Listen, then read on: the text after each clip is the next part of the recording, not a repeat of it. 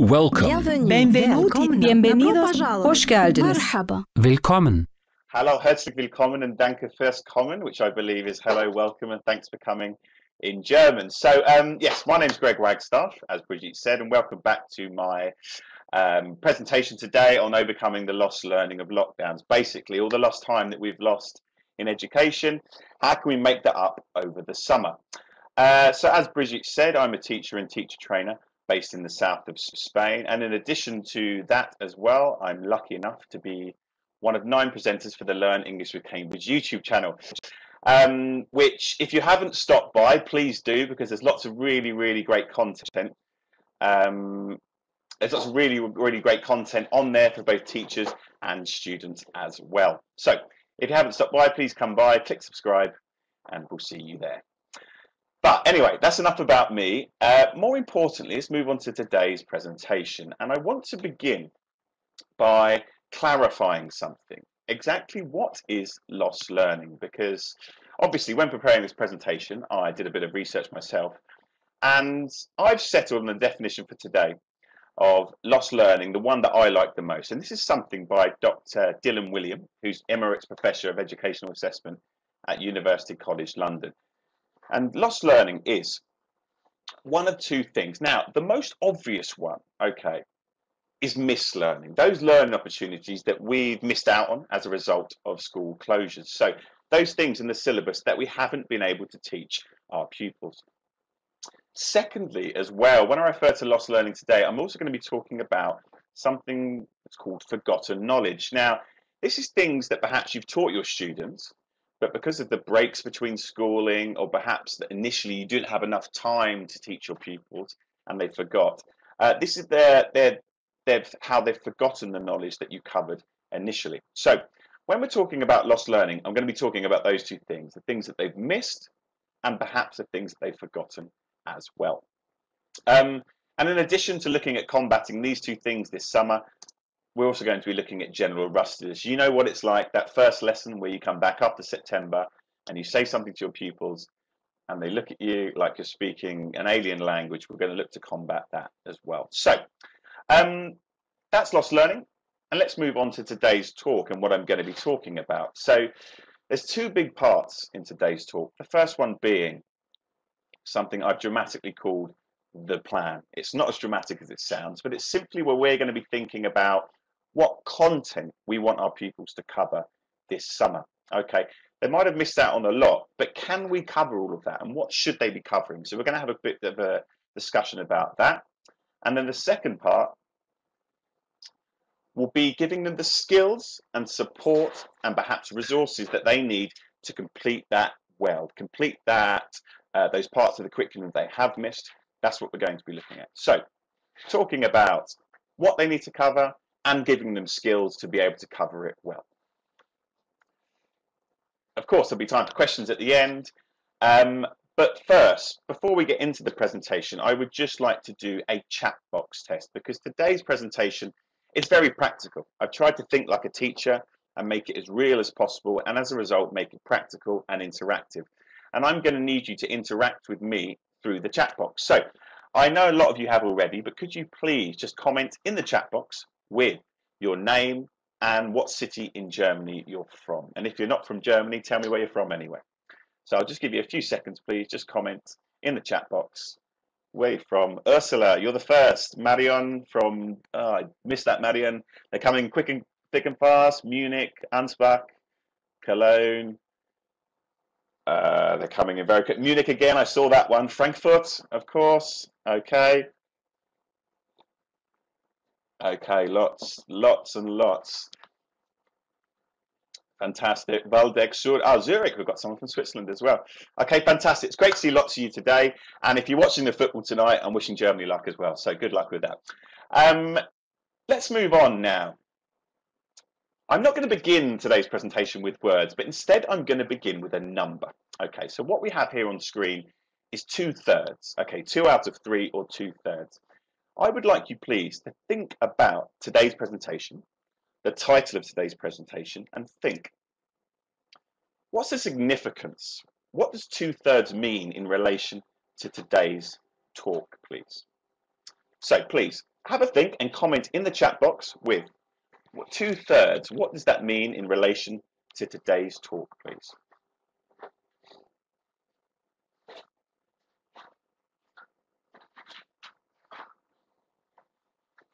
Student, one third of our students' learning has been lost. Two thirds um, students only remember two thirds of what we taught them. Sometimes it feels like less, unfortunately.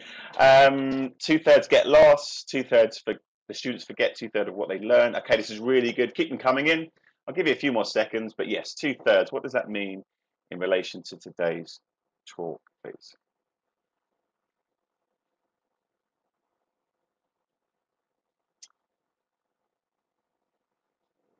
Okay, so what we're going to do is I'm going to show you the answer. Of course, I think I saw in the chat box that somebody got it correct. And what this means is that two thirds, two thirds is on average the amount of time an academic year has been lost due to COVID school closures, which is an incredible number when you think about it. It's a lot, a lot of time. And there are some countries, for example, like Kenya, who are planning on repeating their whole year to catch up. There's some provinces in Canada and India that are going to have a reduced curriculum next year and focus just on them. Um, so it's a really, really big number. And so it's a really, really big thing that we have to address here. So um, how can we do that? And how can we do it effectively over this summer? First of all, let's have a look at something I've dramatically called the plan. Okay, so what we're going to be looking at here is I've tried to think like a teacher. I'm a teacher first and foremost, and tried to think realistically and practically how can we get our pupils to cover what we would like them to cover in the summer. Um, so, what I would begin with, okay, is of course, when developing this plan, you need to sit down and think what have the pupils missed or what do they need to cover again. So of course, a nice place to start may be the contents book in your um, in your course book or whatever you're working from. Um, and you're going to be thinking about, I'm not sure if you can see that too well, but of course, first of all, what did we miss? Okay, what was missed in terms of our learning? And then secondly, um, one moment, what could we recap as well? Okay, so those two things, those are two really, really important things, of course, the most important things we need to take the time to sit down and think, what did we miss and what could we recap? Um, but again, I'm thinking for you guys as a teacher, I understand if there's lots of things that have been missed and need to be recapped, in this summer, can we expect our pupils to cover them all? Okay, time is going to be a priority. And of course, your pupils need a break. You need a break. Everybody needs a break. It's been a really, really, really tough year for you guys. So we need to think about perhaps prioritizing those topics as well. So we think about what needs to be covered, what needs to be recapped. And of course, a nice process would be thinking about, is it necessary? Do our pupils actually know it already? Do we need to do this? Perhaps. Is it important as well? Um, course book writers might disagree with you, but some parts of English grammar, English language, are perhaps more important than others just because we use them more. They're more frequent. And a final question might be to think, is it something that's too difficult for our pupils to learn by themselves? Of course, no language is too difficult for any pupil, but when they're alone at home in the summer, is it something that's too difficult? So I'd recommend, first of all, thinking about what we want to cover and then pushing them through these filters with these questions as well. And then the final step, what I would do is pass it over to the pupils. I'm a big believer in involving pupils in their own learning and them taking responsibility for their own learning as well. Um, and I would ask them, you've been through this process, you've thought about what they might need to cover, you've thought about these questions, and then let's ask them, let's ask them what they think that they need to cover. Why are we going to do that though? Of course, to begin with, it's really motivating. We all know that in life, when we feel, when we're obliged to do something, if we feel like at least we've had some input, some contribution to what um, what that is, it's a lot more motivating, a lot more inspiring for us as well. So we can provide motivation to pupils.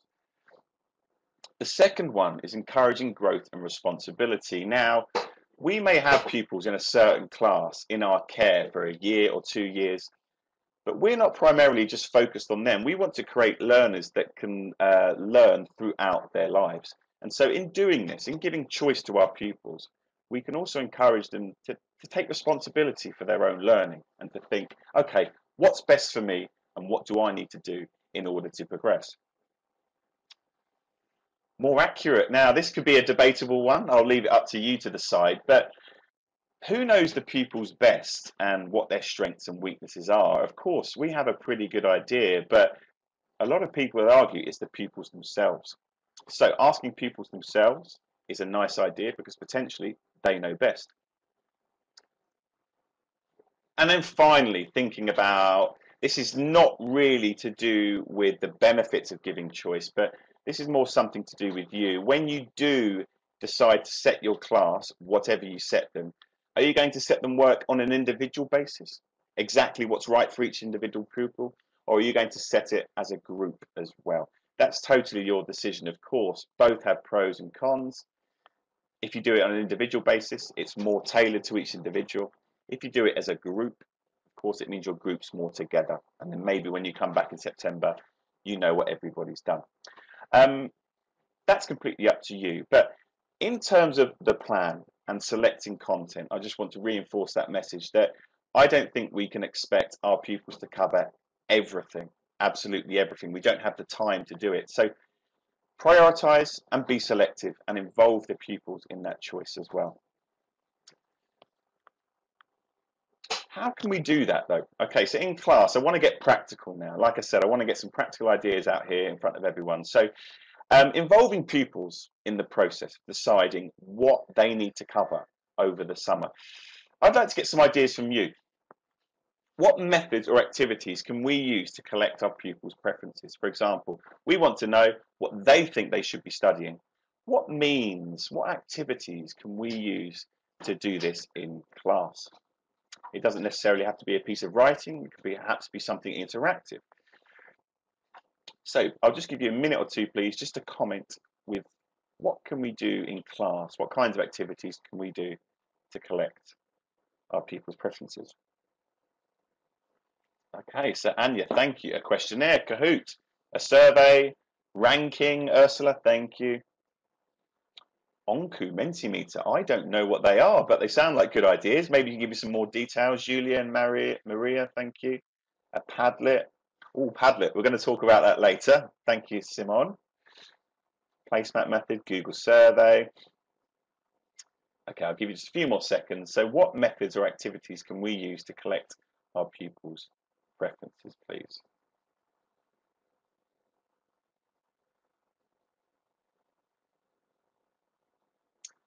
Okay, fantastic. So um, I've got some ideas, but most of them have already been said by you, which is fantastic. So let's have a look. So ideas in which we can give choice to our pupils is, of course, a class survey or a questionnaire.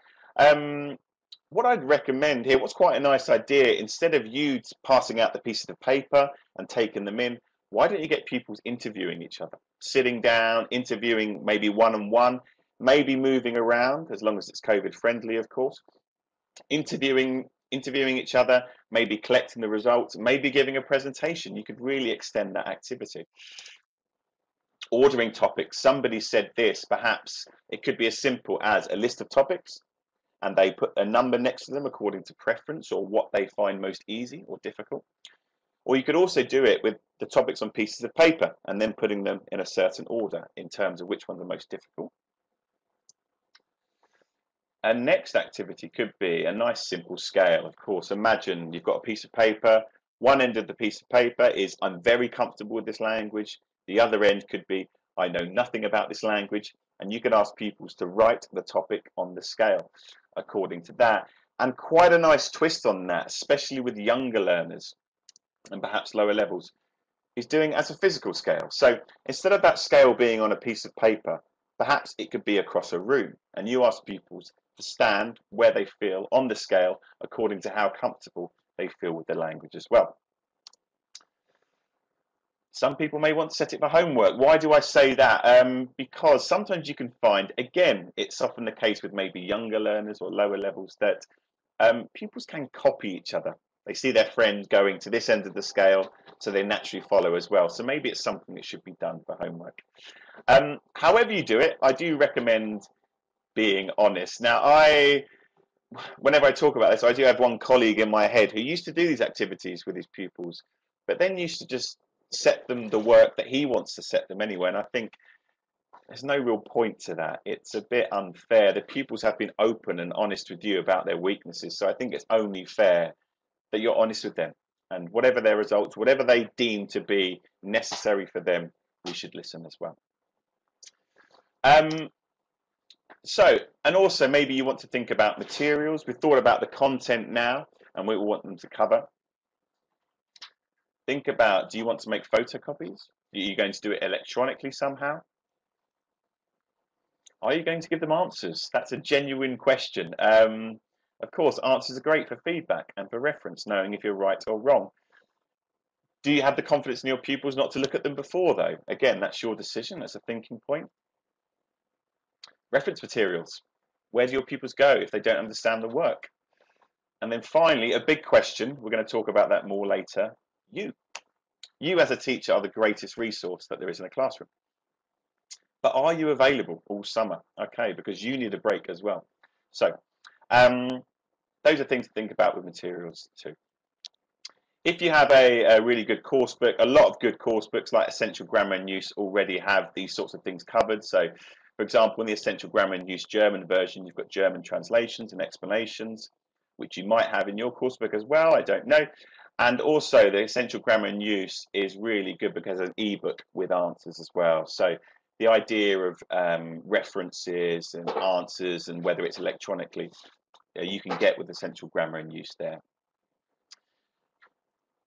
One final thing as well, I would like to think uh, maybe you want to think about in terms of setting your pupils' challenges for the summer is something personal. Okay, now maybe you want to set your pupils some personal targets. These are just some here.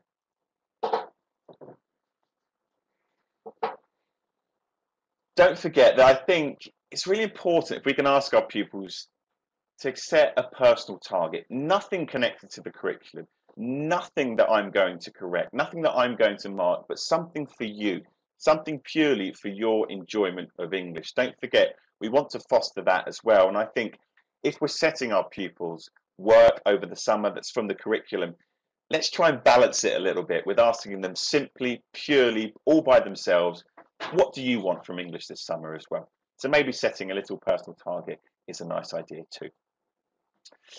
Okay, so um, that's the first big part of the presentation. It's, like I said, the plan. Thinking about what are we, how are we going to set um, and what are we going to set for our pupils over this summer. In the next part of the presentation, I'm going to be talking about um, skills, support, and resources that we can give to our pupils so they can complete that work, whatever it is, so they can complete it to the best of their ability. And I'm going to begin by talking about learning how to learn, the idea of developing autonomous learners, uh, autonomous learning within our pupils. So uh, I've got your next task, please. Now, what I'm going to do is I'm going to show you a text. For example, this text I'm going to show you. And I would like you to read it. And as quickly as possible, read it and comment in the chat box with what phrase means the same as to study the essential facts of a principle or skill. So I'm going to show you the text. You're going to read it very quickly and then comment in the chat box with the word or phrase that means the same as this, please. Okay, here we go.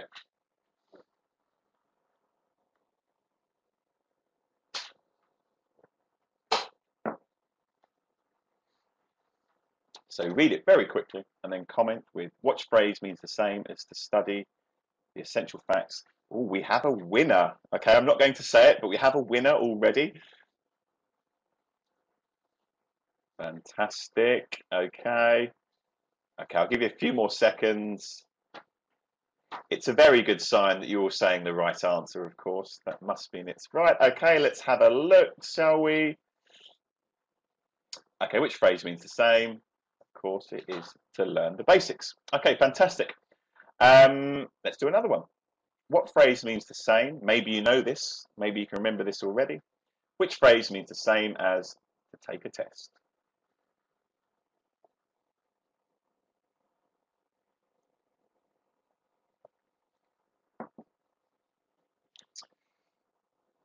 So who's going to be the first? Oh, we've got another winner, and we've got all the same answer, which again, like I said, is a really, really good sign.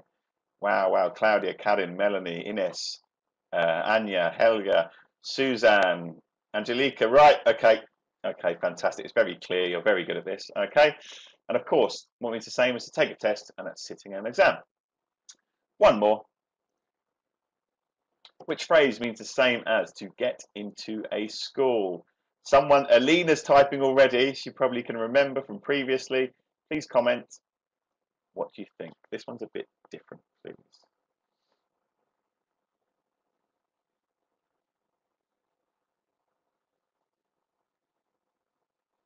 Remember the phrase from the text as well. What phrase from the text? I have, of course, helped you a little bit by highlighting it.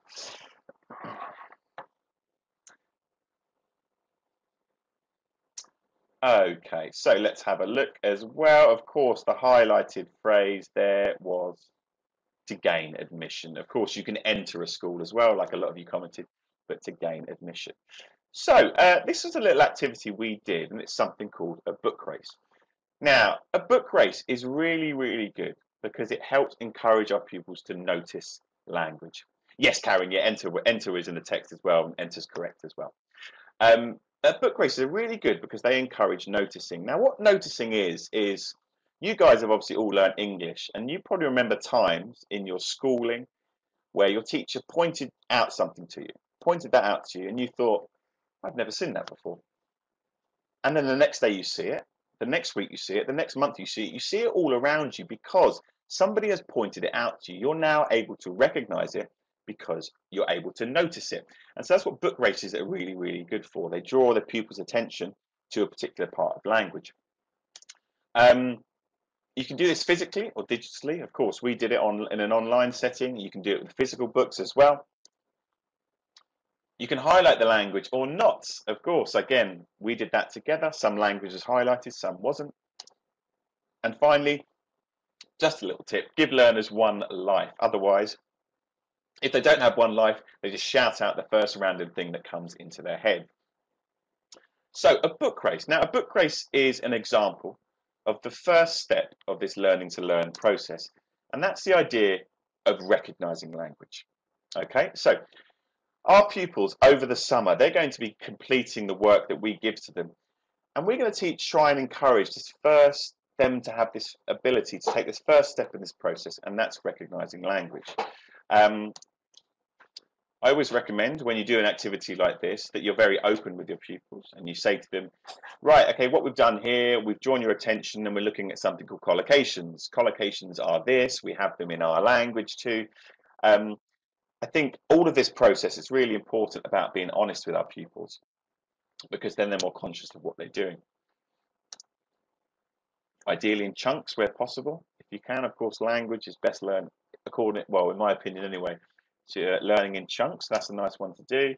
And remember, it's a transferable skill. This you can do for other parts of grammar. If you want to teach your pupils how to recognize irregular past verbs more, you can do it with the regular past verbs or idioms. You can do it there as well. Um, but what's important is that we're developing this ability to recognize certain parts of language in English. And that's the first step in something that's called three R's, the ability to recognize. What comes after is the ability to research. So our pupils, again, this summer, they're completing the work that we've set them. They notice something, they notice something they don't recognize, and they think, ah, oh, I think that's a collocation. How do they find out more information about it now? So there's various ways we could, um, there's various means we can give them to research the language. So it may be things like corpora or looking at the corpus. That's particularly good for collocations. Thesaurus, of course, dictionaries, YouTube, and Google. The, particularly the last two, if your pupils are studying the second conditional, for example, where best to find information about that, Google and YouTube are great. Um, but one thing I want to show you today, and it's my new favorite toy, so to speak, is something called Youglish. Now, I don't know if any of you have heard about Youglish out there, but it's a really, really good tool for self-pronunciation, for teaching um, teaching yourself how L1 speakers say things and then being able to um, do it yourself. Ursula, thank you. Yes, you've used it before and often, and it's great according to Ursula. So um, what I'm going to do now is I'm going to, fingers crossed it works, I'm going to show you a video, a quick video of me using Youglish. Now, um, please, if you can't hear the video, can you please just comment in the chat box and let me know? But I'm going to play it and hopefully it should work. That looks like a no. Let's try it one more time.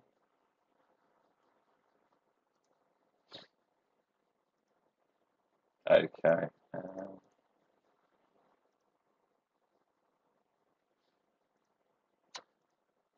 okay, it would appear that the video isn't working, but if I can just explain to you what Youglish is, and I think also in the chat box as well, I can type it in there for you as well.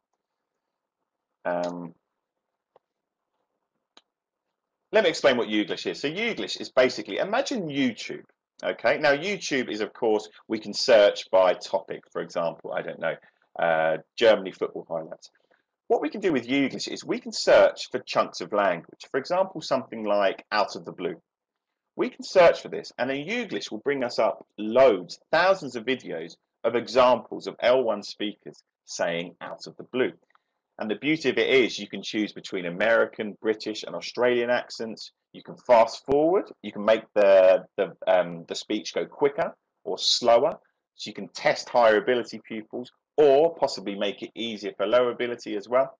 Um, but it's basically an online uh, catalogue of real life examples of pronunciation. Um, you can check it out now, but probably best after the presentation. But um, it's something, it's my new favorite toy. And as Ursula said, it is a really, really great thing.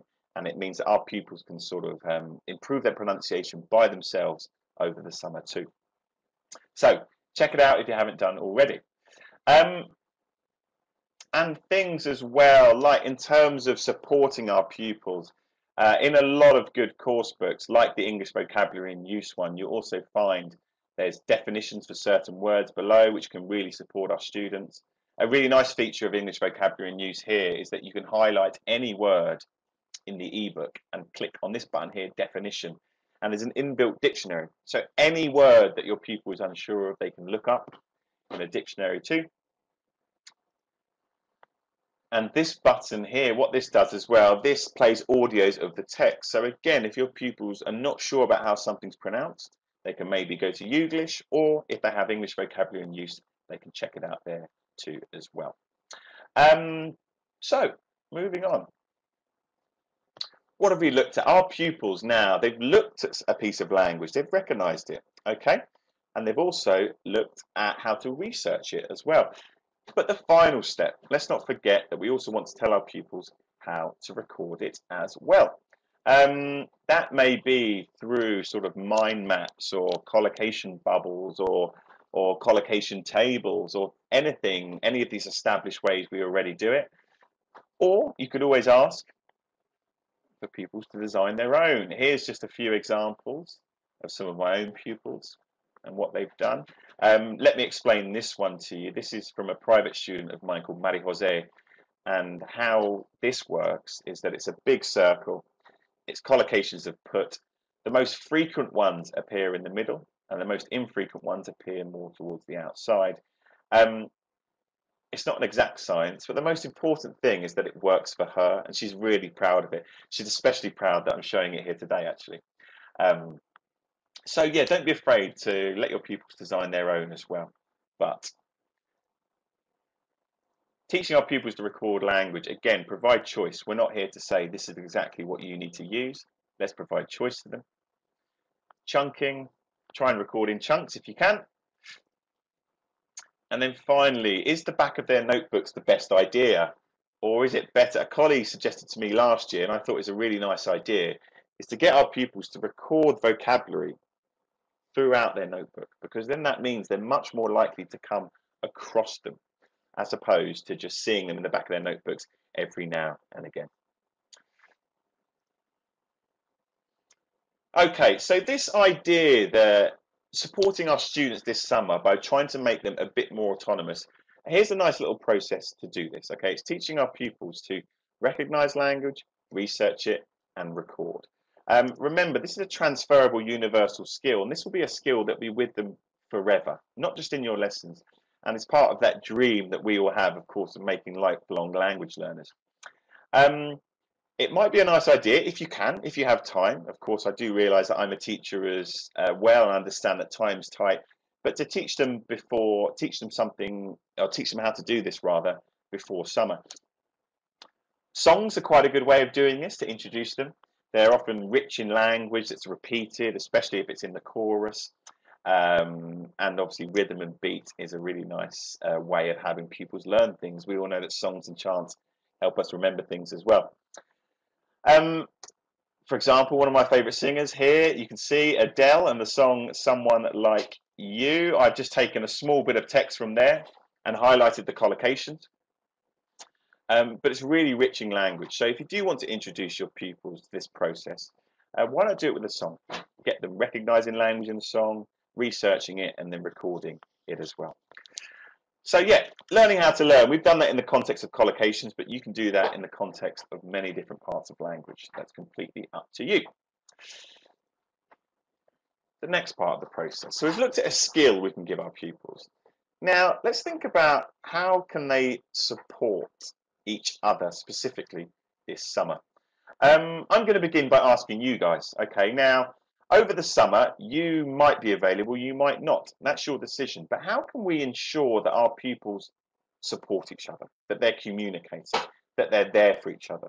Because they're going to depend on each other for a lot for support over the summer. So, could you please just comment in the chat box with any ideas, any systems that you might have in place already to allow our pupils to uh, communicate with each other. Somebody's mentioned a program already that I'm going to show, so there's a little clue for you.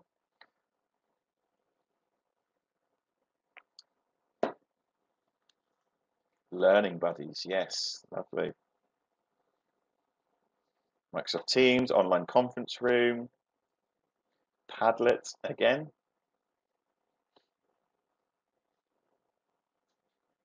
English group via WhatsApp, fantastic. Okay, I'll give you just a few more seconds then please. So how can we get them to communicate over the summer? Teams. Okay, so um, what I'm going to talk about is I'm going to throw some ideas at you and there's pros and cons of these ideas and it's completely up to you to decide what you think is best for your setting. But here's some ideas. Uh, the most obvious one is social media. Okay, um, social media, it's really important to our pupils, especially the younger ones. And nowadays, in the age of COVID, it's often the way that we communicate with sometimes our best friends who we can't see. So if we begin with something that probably not a social media, but I put it in here anyway, that's emails. Now, Emails, the benefits of emails, of course, you can send really send really big documents through. You can share all sorts of academic information. Um, and the beauty of it is that it doesn't get too chatty. It's not a forum in which pupils can chat too freely. If we look at the opposite, somewhere where they can chat freely are WhatsApp groups. Some of you may have class WhatsApp groups already, which is great. Some of you may not. But they're good because pupils can chat, but sometimes can become a bit too chatty, and maybe there's not the best place to share documents and whatnot. But they are potential ideas. Um, yes, Jacqueline. Yeah, I understand some pupils in school or some teachers are not allowed to have WhatsApp as well, and that's fine. I'll address that in a minute. There are certain privacy issues, but it's an option for some people, possibly. Um,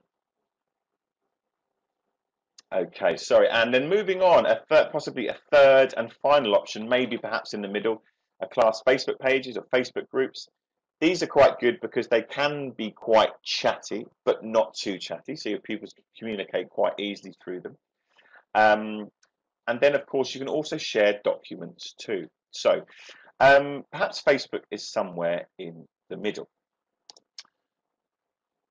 And also connected to this, now a couple of people have mentioned Padlet. Um, and what Google Jamboard and Padlet are, they're basically, the best way to describe them is giant um, interactive whiteboards.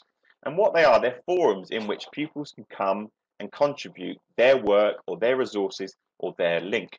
Um, so imagine you've got a big empty whiteboard and someone posts up a link to a grammar video, someone posts up some resources, someone asks for help, um, they're really basically big interactive whiteboards in which pupils can contribute to the work and help each other. Uh, Google Jamboard is something, it's a bit more basic. It wasn't actually designed for education, but basic's not necessarily bad, but it could be a forum uh, which could suit your pupils. I did want to show you Padlet, however, today. Now, Padlet, I do know that some people have already commented with this. Padlet for me is something really, really fantastic. Um, task cards. Thank you, Ursula. Apparently, a German, a German alternative, or a German-based server is task cards, so maybe you could use that as well. Now, my video isn't going to work, but if I just describe, to you what Padlet can do, like I said, it's a giant interactive whiteboard, and you can directly search on Padlet for resources. You can click on there and type into um, into the taskbar second conditional. It will search YouTube, search Google for you to post. You can post answers on there pupils can post requests for help. Um, the best way to learn it simply is for you guys to go and check it out yourselves. But I'm a big fan of Padlet, and it's a really, really nice way of ensuring our pupils can support each other over the summer. Now, a lot of comments have already talked about my pupils can't use this. There's privacy, and yes, there are issues around this. So I'm just going to quickly touch on these. I'm not going to say what's right or wrong for anybody today. But simply, yes, there are some issues here. So let's talk about them. Um, first of all, before you set them to buddy up, are you going to do it in class, groups, or pairs? If they're in groups or pairs, are they in friendship groups? Are they in mixed level groups? Are they in same level groups? Again, that's not for me to answer, but that's definitely something you want to think about. What do you think would suit your pupils best? Privacy issues. Of course, there are privacy issues. I know this is particularly important in Germany. Um, so yes, I'm aware that perhaps you can't interact with your pupils outside of school. Perhaps they're under 16, they're under 18. So please be aware that you cannot just set these up. You need to investigate privacy issues there and possibly speak to your school and see what their policy is too. Uh, next one is um, give guidelines and rules. I think this is something important too. It's very difficult for our pupils, if we say to them, right, support each other over the summer, there's a WhatsApp group, off you go. I think we need to give guidelines on how to do that, particularly as they get younger or as they are younger pupils. So maybe things like um, checking in on their partner or their group every once a week, maybe contributing to Padlet, uh, Padlet twice a week, maybe having a particular study buddy, someone they really look after. I know someone commented on that, but it's worth thinking about giving them guidelines and rules. Do you tell the parents? Is it worth the parents knowing that there is support for their child through Padlet or through the class Facebook group? And then a big question. Are you available over the summer? Of course, you guys deserve a break. You've worked so hard. This year has been unlike any other. So, are you available? That's a question that only you can answer.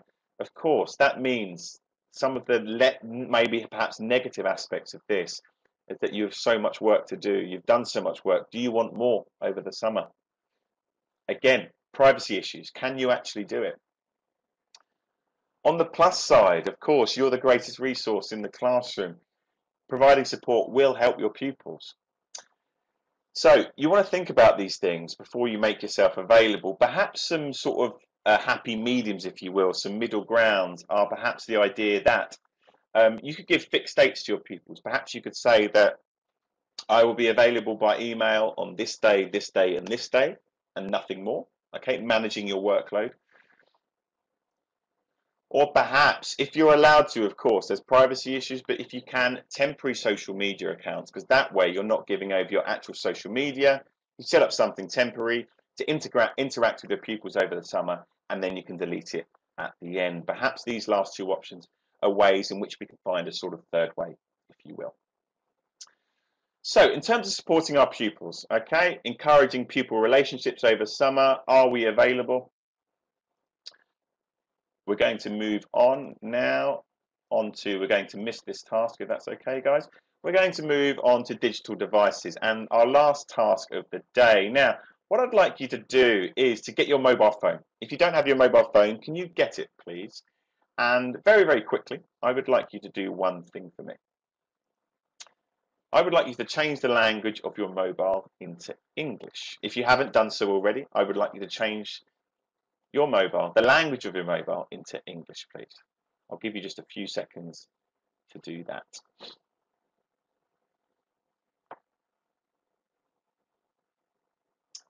So, thank you. Anya's done it already. Fantastic. Um, just change the language of your mobile into English, please. I'll give you a few more seconds. That may take a little while. Go to your settings, go to the language, and just change to English, please. Done. Thank you. Yes, if you have done it, can you tell me? Done, please. Done, done.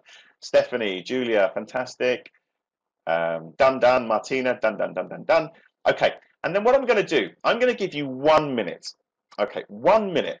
And I would like you to explore your phone, use apps, use whatever you want, and then comment in the chat box with any words that are new to you or any words that you may have forgotten as well. Um, I'd like to see who comes up with the most interesting words. I'd like to see who comes up with the most words potentially as well. Um, but please just comment in the chat box with any new words that you might find whilst using your phone. I'll give you just, like I said, about a minute to do that, please. Anything that's new to you, or any words that you had forgotten as well.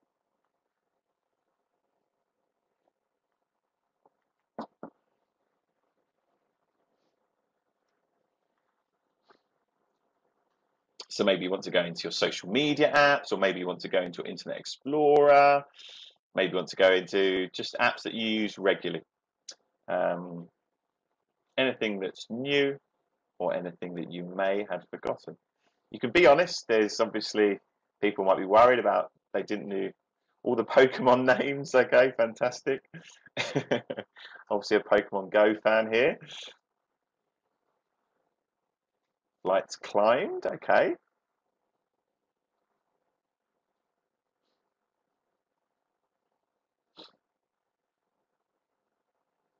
So any new words or perhaps phrases as well that you had learnt uh, that you that are new to you or had forgotten. Okay, exposure notifications. That sounds like a that's related to COVID. Okay.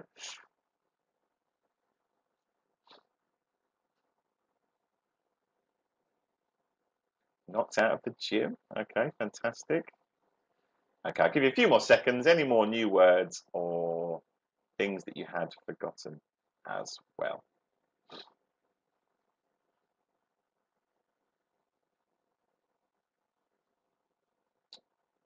Okay, so we'll move on from there. So, um, yeah, what I'm proposing that over the summer, in order to give our pupils support,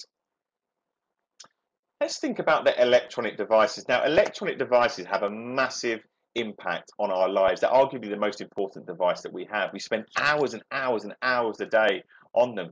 So let's harness their potential. Let's harness their importance. And again, I think if we're being honest, we'll all have those pupils over the summer that probably don't do the work that we set them or don't do it very well, but they're still important to us. And a way of thinking about how we can get them engaging with English can be through electro electronic devices. And a simple thing like perhaps changing their English, uh, the language of the phone to English, can possibly transform in uh, transform them in terms of how much they interact with English over the summer.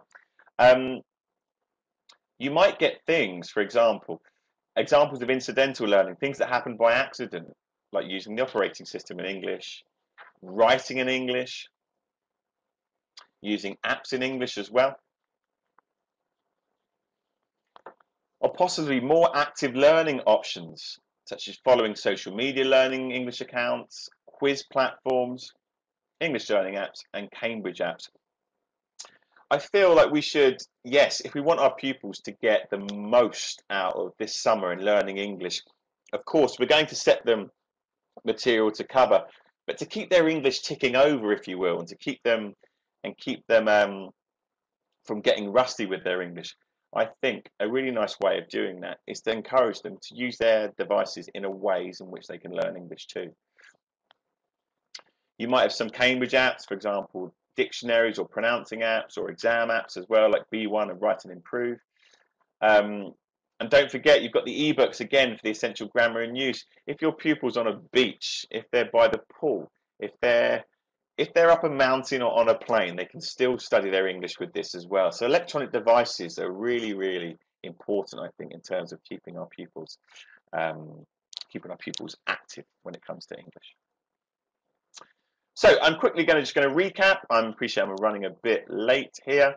Um, yeah, my brother learned English really well by playing World of Warcraft. That's something not to be joked at. A lot of people talk about computer games being bad for bad for kids in general, but I mean, all of my class in Spain now, because they play a certain game, they all know the word headshot, for example. They do learn English through playing games more and more. So computer games are really, really good as well. Thank you, Christine. Um, so quickly, just to recap, um, the plan. Okay, deciding what we need to cover. What are we actually doing here? We don't. We probably don't have enough time for our pupils to cover everything. So how can we filter that? Is it important? Is it is it necessarily? Is it necessary? And let's ask our pupils as well. What do they want to cover? What do they think is best for them?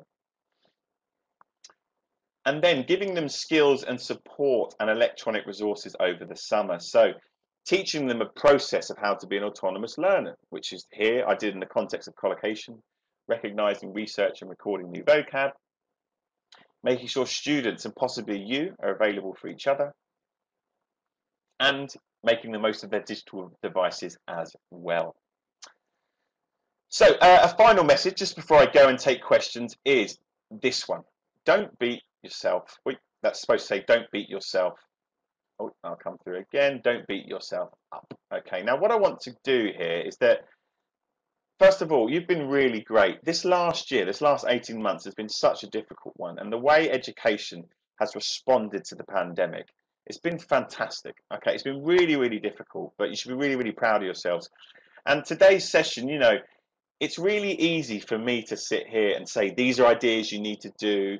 And I'm not expecting you to do that. You, you know, you have to really think about yourselves and look after yourselves. But I've made some ideas here for you, and it's now up to you to decide what's best for you and your pupils over the summer because.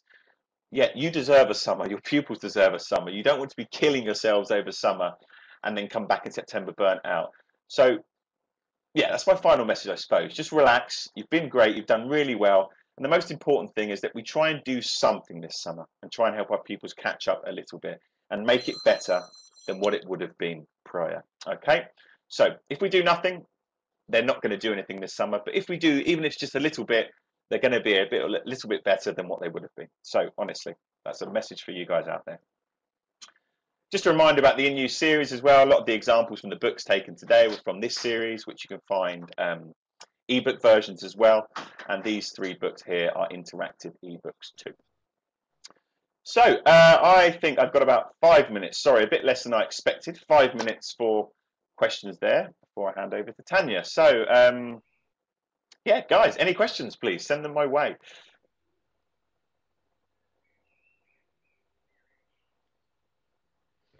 All right, some people are typing. Let's just see. It looks like it, yeah. Full of optimism, yeah. yeah. But I, I, do mean that honestly. It's been a really hard year for you. I don't, I don't, I don't think teachers should be stressing about the summer too much. Quill for working on grammar. Okay. Oh, that. Okay, let's. I'll um, get. I'll answer this one here. Thank you, Marla, for your recommendation. And Simone, uh, how can we incite students to be motivated to catch up this summer? That's the eternal question, isn't it? Um, I, I think. Well, I'm going to repeat a few of those points that I said because I think they're important. I think if we say to our pupils, this is what you're doing this summer, complete it, that's very demotivating. I think involving them, involving them in deciding um, what they think is best for them is something really, really motivating. Um, so ask them, involve them in the process. Of course, you can gently steer them in a certain direction, maybe, but it should come from them. I think that's motivating. And ideas like perhaps using digital devices, I think, are really, really important. A lot of our students are motivated by that so much more than a pen and paper. Um, so that could be another way of doing it as well. Setting them targets. That's something I didn't talk about today, but realistic targets. I think whole group whole group targets are not great for some people because maybe the group's here and this pupil's here, but set targets personal to them as well. Again, ask them for their input on their targets can be motivating too. Um, let's have a look at Martina. What did she say? We adapted the curriculum, amount of periods and the main subjects per year to catch up. Uh, people's needs time, in the summer. Yeah, that, again, I want to repeat that you do need the summer, of course. This is definitely, I'm not a presenter that's saying you need to use all of your summer for work because, yeah, that's, that's simply not practical. Um, yeah, changing the language of your digital devices. It's a very simple thing, and I don't want to be defeatist, but like I said, you will get some students who they're not really going to be too interested in the work you're setting them over summer. But let's not give up on them. How can we interact or get them interacting with their English and changing the language of the phone is um, quite a nice way of doing that. Some students might like to read novels in English. Yeah, that's a possibility as well. Um, I think, unfortunately, that's becoming less and less, but um, yeah, that could be a possibility. Um, but any more questions, guys, send them over. Um, I've got a, still got a couple more minutes. Maria here is recommending Quill for working on grammar. Do you know that? I've never heard of that. Thank you, Maria. I don't. Maybe Maria could Maria could tell us some more information about Quill. Actually, I haven't heard of it, but I wouldn't know what um what it is actually. Any um, reading list? Any summer reading list? I'm not sure if you're asking me for my own personal uh, reading catalogue there, or whether you should be setting your pupils their own reading lists. Um, again, I think in terms of setting it for pupils, I think that's a good idea. But ask them, of course, if you're setting them things to read, I think you might lose them. Ask them what they want to read. What are they interested about? Maybe you could recommend and steer them towards. There's lots um, of ideas, ideas too. on our website if you wanted to have a look. Okay.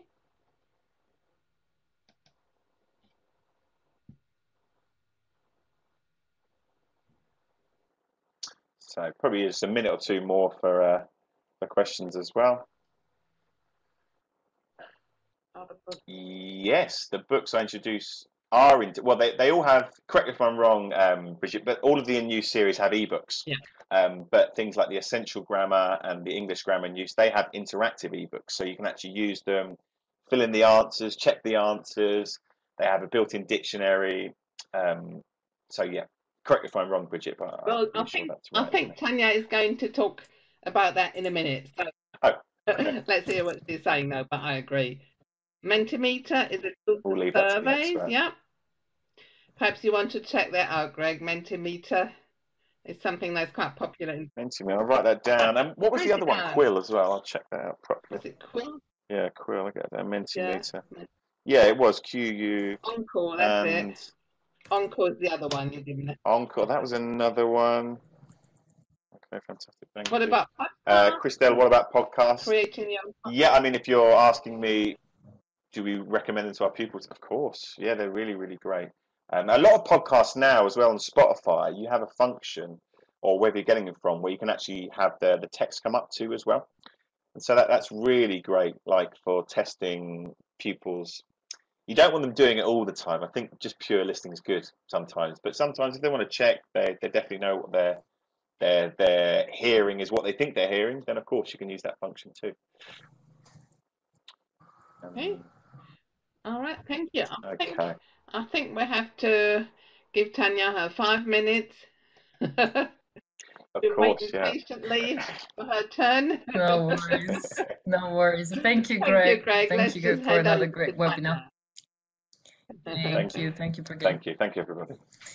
Okay, so good evening, everyone. So I'm going to give you a quick overview of our in-use series. So in-use um, includes title for uh, different types of uh, needs. And uh, so, for example, we have um, titles that cover grammar or um, uh, vocabulary, as Greg shows you, show, has shown you, but also collocation, pronunciation, idioms, and phrasal verbs.